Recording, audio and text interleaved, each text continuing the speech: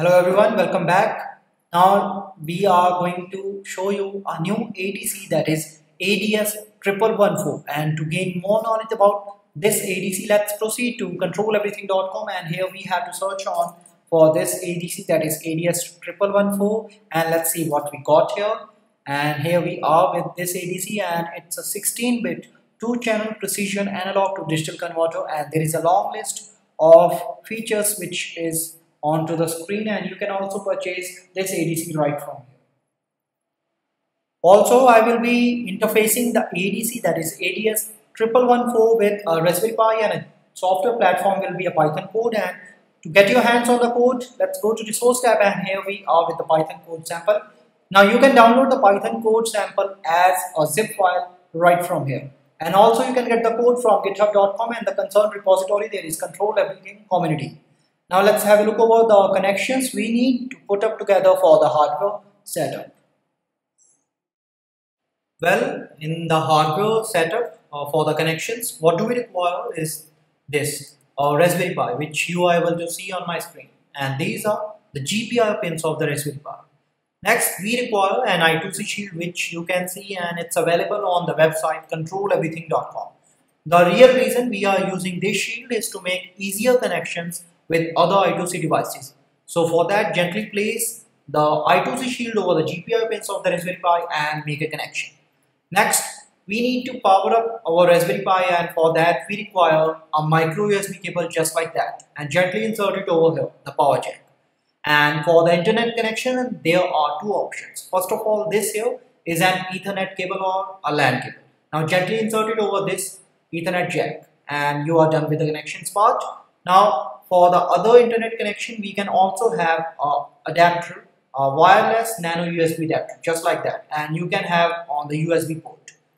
Now we need our ADC analog to digital converter that is ADS 1114 and this here is a connecting cable.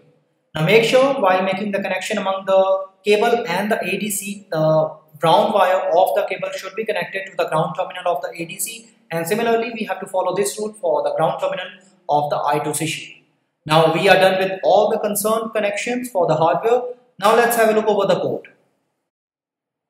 Alright, for the interfacing section part, first of all we need to log in to github.com and then we have to search on for the concerned repository that is controlled everything community and then we have the ADC that is ADS 1114 and here we are with the Python code but let's look over the instructions part for this code we have to download and install SMBus library on the Raspberry Pi and this link will help us to do the installation carefully and precisely as you notice we have all the relevant examples dependencies and commands to do that so and after that we get back to the instructions part, we download the code onto the Raspberry Pi and this command will help us to run the Python code. Note it down. Now, as we are with the Python code, it's a .py extension file and in the code, first thing you notice that we have imported SMBus and time libraries. And we have the address of the ADC that it will be 0x48 and in the writing section part, as you notice, we have to select configuration register 0x01 and we are going to send a command that will be 0x8483 which we are going for positive end which will be AIN 0, negative end AIN 1, voltage range will be plus minus 2.048 voltage, continuous conversion mode 128 SPS and it is here the writing command.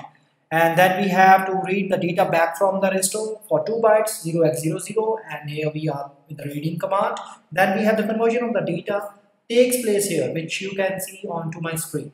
At the very end, we have the output data to be displayed onto the screen, which exactly is the digital value of analog input. So this is how the code looks like. Now let's see how it works. Alright, now let's have a look over the working environment. And in this part, in this part, we need to copy this entire code and after that we need to open up the terminal for the Raspberry Pi via internet and here we need to create a new file as you are able to see on my screen .py will be the extension and here we need to paste the entire code and after that we have to save it and this command as you are able to see on my screen this will run the python file and let's put up the command.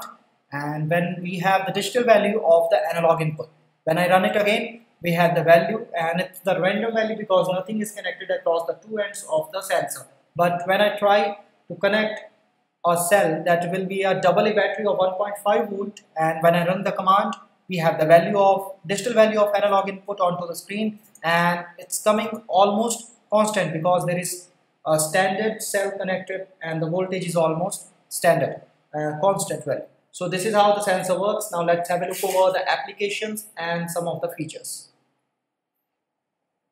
the ADS Triple One Four is a precision analog to digital converter with 16 bit of resolution. The ADS Triple One Four featured an onboard reference and oscillator. Data are transferred via an I2C compatible serial interface. Four I2C slave addresses can be selected. The ADC Triple One Four operates from a single power supply ranging from 2.0 volt to 5.5 volt. The concerned applications regarding this ADC due to high accuracy analog to digital conversions are portable instrumentation, consumer goods, battery monitoring, temperature measurement and a lot more to mention.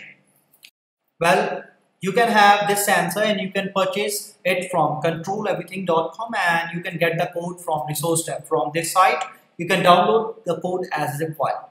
Also, you can get the code from github.com and the repository there is control everything community. In the end, I would like to make it clear that if you have any doubt regarding any part of this sensor video, you can have your queries on controleverything.com and you can post your comments on the community page on this website. For articles and blogs, you can have a look over on instructables.com and to subscribe more video tutorials like this, you can have a look over our YouTube channel. In the end, I hope you enjoyed this video and had a good one yourself. Thanks a lot for watching.